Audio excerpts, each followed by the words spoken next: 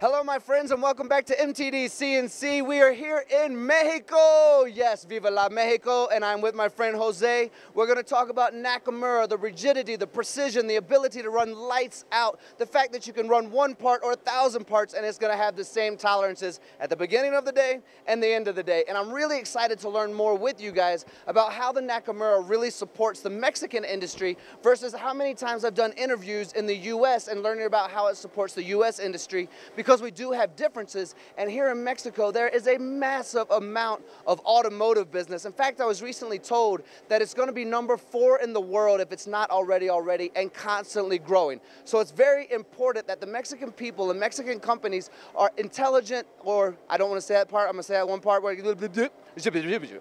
it's really important that the Mexican companies understand the technology that's going to help them succeed instead of the everyday, I've been doing this for 20 years and doing the same thing over and over again. Let's learn together. So, Jose, thank you so much for being a part of MTD CNC. Thank you. Thank you for inviting us. Well, as you are the expert on Nakamura, we know it's a rigid machine. So let's first talk, talk about the rigidity of the Nakamura. Uh, mainly, it's a very, very rigid machines. Uh, the philosophy of Nakamura is making machines for many, many years. We talk for whole life.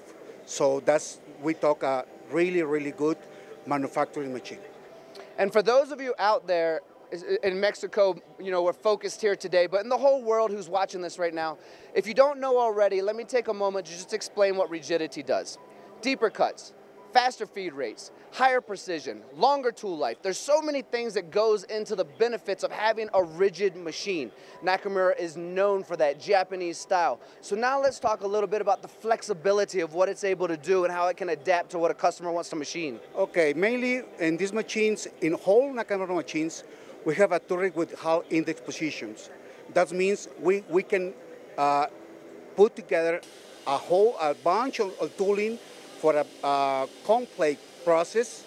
We, in this machine, we can put more than uh, up to 40, uh, 48 tools.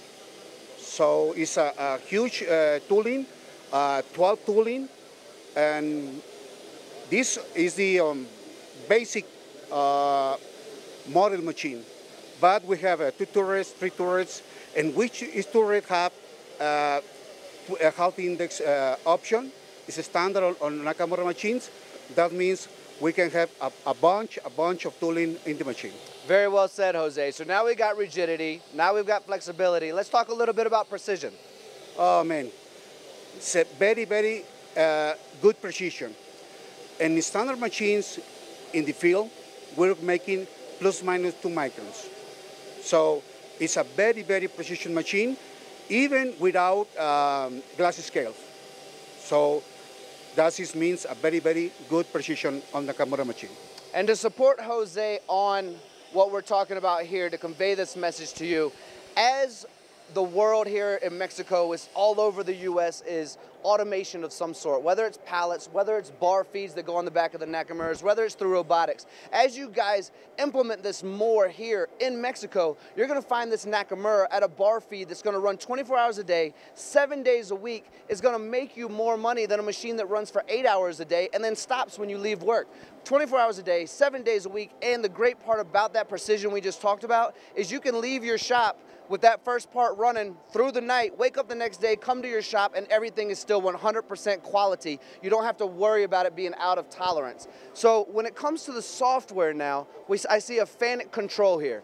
FANUC is everywhere. So this feels like it would be something that would be familiar to a lot of the companies out there. If, they, if there's a first Nakamura, they're already familiar with the interface that's on there.